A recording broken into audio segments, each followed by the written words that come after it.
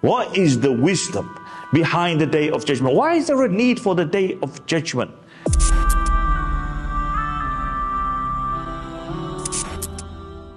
The wisdom behind the day of judgment is that every good individual is repaid for his good. And every evil individual who disbelieved in Allah subhanahu wa ta'ala is held to account for his evil and his disbelief. If there was no accountability. All the zalims and all the oppressors could carry on with their dhulm and there would be no accountability. Imagine people like Fir'aun who oppressed the Bani Israel. Imagine those who killed tens and thousands of people.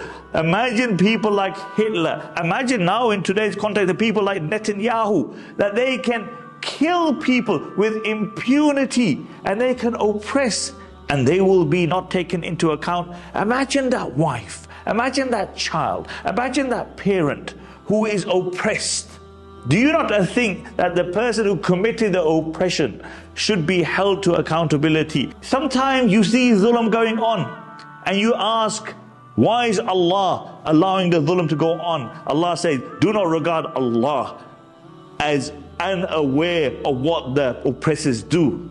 Allah is delaying them to a day, the day of judgment, where a person will look and his eyes will be fixated. The narrations mention that a person, a zalim, will look at the horror that is in front of him and he will stare for 40 years. For 40 years he will not blink once that is the horror that this individual will face. The Messenger of Allah sallallahu said, the first person who will be resurrected from his grave will be myself. I am the first to intercede and I am the first whose intercession will be accepted.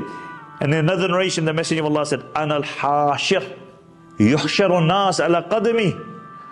I am the hashir. I will be the one who will be resurrected first and then everybody else will be resurrected after me.